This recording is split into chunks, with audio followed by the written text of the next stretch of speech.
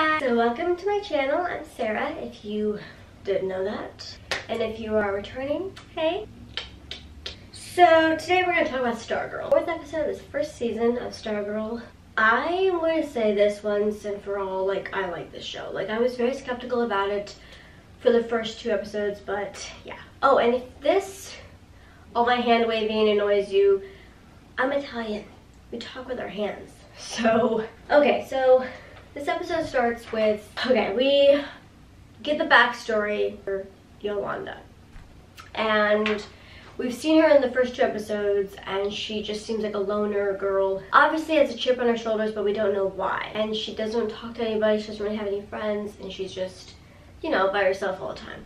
But we find out that basically she had a boyfriend named Henry. He asked to see a sext as you know younger kids call it basically a picture of her body. And she unfortunately you know sent one to him.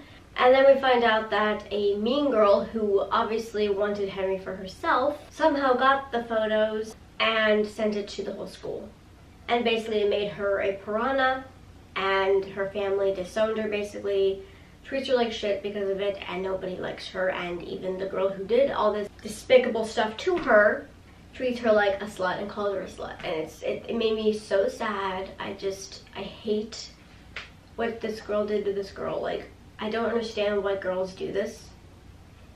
And i don't understand how they get the mentality to be so mean to each other. Like like where does this mentality of girls being mean to each other come from? For me personally like, honestly, most of my life, I've had more girlfriends than guy friends, and I've had a few tiffs along the way with some girls. I think it comes from jealousy, and I think that it stems from that. I think the girls obviously feel that at a young age, and I think it's definitely more prominent with, yeah, I mean, oh my god, I felt so bad for her. Like, and I mean, I love that Courtney is trying to want to reach out and be friends with Yolanda because I think a lot of people probably don't see her as somebody who is worth it, which is also sad. But you know, and I and I understand that Yolanda she thinks that she needs to be alone. She thinks that she needs to just be not bothered by people. And I mean, you can obviously tell that she thinks that because you know she's hurt and she doesn't trust people because of what's happened to her,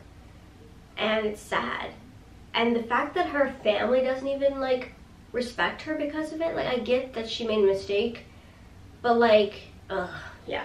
And so through learning her backstory we find that courtney is trying to get her to join her justice society of america team and can and tries to convince her throughout this episode to join and tries to get her to you know try on the costume which at first looks like a sweatshirt on her form fits to her in beautiful CGI magic, TV magic I should say, and they, oh man, they go on this like rookie mission trying to go to the hospital to see Brainiac and find out if Henry's there. So Courtney's only been doing this for a week and she hasn't really been even trained, so she's trying to train somebody when she hasn't even been trained herself. It's obviously like a naive, very, very naive situation for both of them, so, you know, it's, it's definitely interesting seeing them like work together. The fact that she got into that room, the hospital room, was pretty like impressive on. Of the school comes into Brainiac's room and plays the violin which I found at first I was like this has to be like some villain like thing like they wouldn't show us that if it wasn't just and I'm definitely definitely interested to see what the what Courtney finds because she says that she's going to investigate that because it's very interesting. So her family is ridiculous. She basically tells Courtney she can't be Wildcat because she needs to be okay with being Yolanda for a while. She doesn't really feel like she's been Yolanda in a long time, ashamed of herself, and she didn't feel good about herself, which is completely understandable. It's obviously hard for Courtney to accept that, but you know, you know, we've all been we've all had those situations in our lives where, you know, we didn't feel like ourselves and we made mistakes that, you know, we wish we could take back and it just makes us doubt ourselves. So basically after, you know, her telling Courtney all this, she goes home and she talks to her family finally and she basically like says that she's not gonna, you know, apologize anymore and that she made a mistake and that she's owning up to it and that she wants to just be herself and she wants to move on and she's hoping that they'll help her do that. And of course, okay, her family's horrible.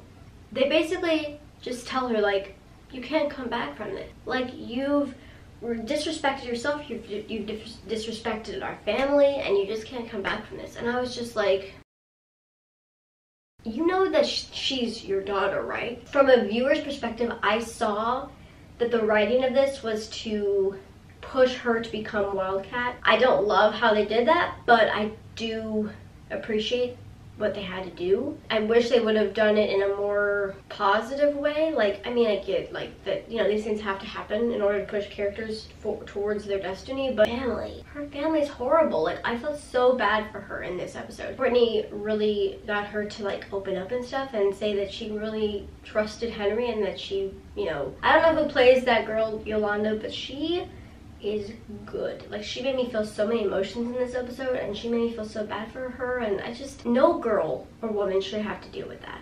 And no girl should have to feel like that. You know, she made a mistake, you know? I mean, I don't understand like why these things happen.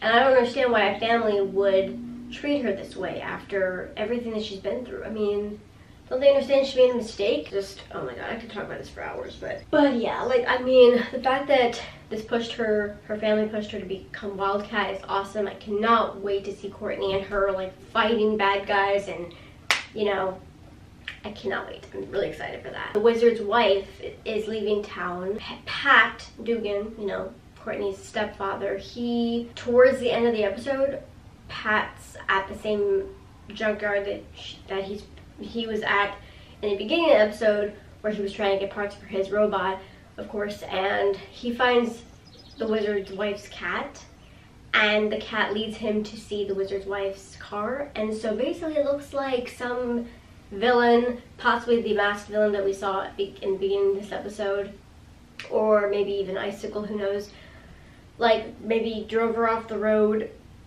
and crashed the car, maybe killed her, and took a bunch of the stuff, which might may have included the wizard's wand. So, because the wizard may have given his kid the wand. So,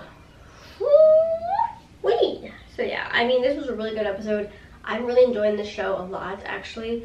It's kind of funny how the first two episodes I was like, okay, this is fine. This is this is great. You know, it's it's But this one and the last one, oh my gosh. Like, I feel very positive and excited and ready and happy. And this show is getting better. So yeah, those are my thoughts. I really enjoyed this episode. Let me know what you guys think. Don't forget to subscribe for more videos from me. Sarah, your girl. Uh, that was really obnoxious. I'm sorry. Um, and yeah, don't forget to like this video if you like the show, if you like my videos, please, please, please, or just don't subscribe and just whatever, who cares anymore. Oh gosh, I'm hot. My bra is not good right now. Okay, but yeah, thanks for watching, and I'll see you in my next video. Toodaloo.